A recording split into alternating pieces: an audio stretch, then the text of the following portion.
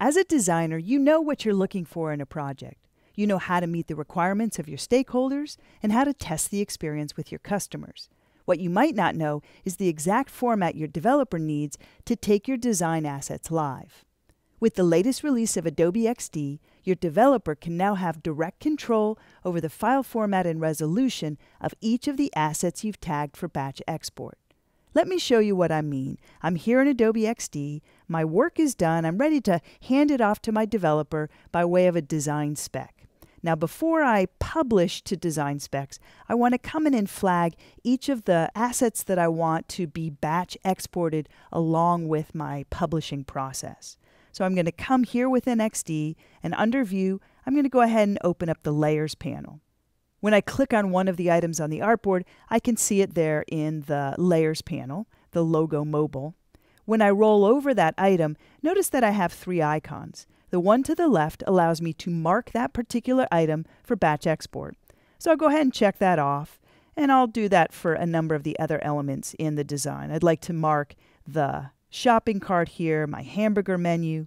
I don't even have to click on it in the design canvas. If I know I want to export it, I can just access it here in the layers panel. So I'll tag the Facebook icon, the Twitter icon, and Instagram icon. And I'll proceed to do that for all of the artboards that I'm actually sending over to design specs. Once I've completed that process, I'm ready to publish the design spec. So on the upper left hand corner here, I'll click on the share icon and select Publish Design Specs.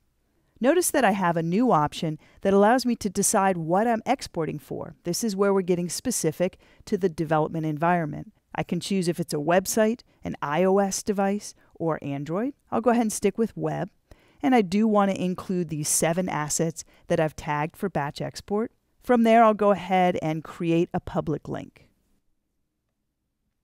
Once that's done, I can copy the link to share with my developer.